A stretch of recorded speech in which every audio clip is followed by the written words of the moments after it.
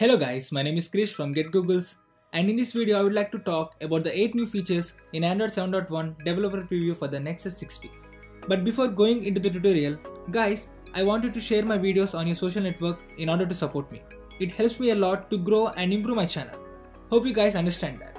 So yeah, without any further ado, let's get started.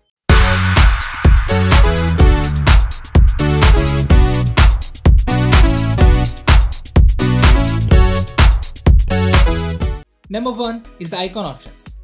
When you long press on any Google's or other supported apps, you will find few options popping upward from the app icon, which comes very handy to use. They can also be dragged anywhere on screen if decided to move.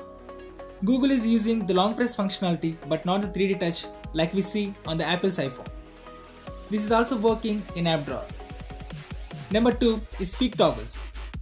Previously we have 5 toggles when you swipe down from the status bar, but now they are 6. Now I can add one more toggle which I use the most. If I open the notification bar completely, you can notice that they changed the edit option from bottom to top with the pen icon. Google now decided to include a support option under the settings, where you can chat or ask them to call you. This may vary from place to place. For me, it's available from 9 to 6. Number 4. Moves. This is another cool feature from Pixel.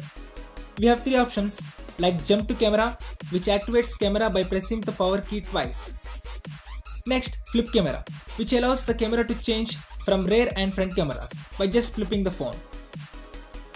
Last to check the phone which usually shows the notification on lock screen. Number 5. Smart Storage.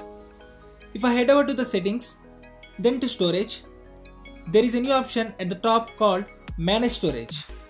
Once I select that, now I have option to enable Smart Storage, which delete the photos or videos that are backed up. This works when device is full. We have also option to select a certain time period like 30 days or 90 days, etc. Number 6. Restart. Finally, Google decided to add a restart option when you give a long press on your power key. Finally. Number 7. Keyboard GIFs or GIFs. With the latest keyboard, you can add or search certain GIFs to your conversations.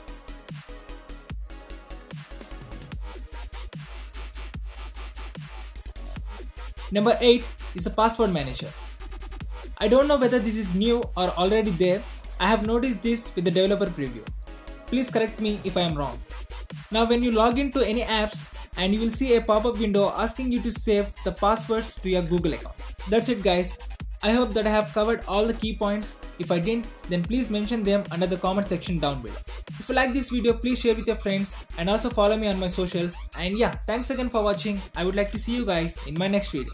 Stay awesome.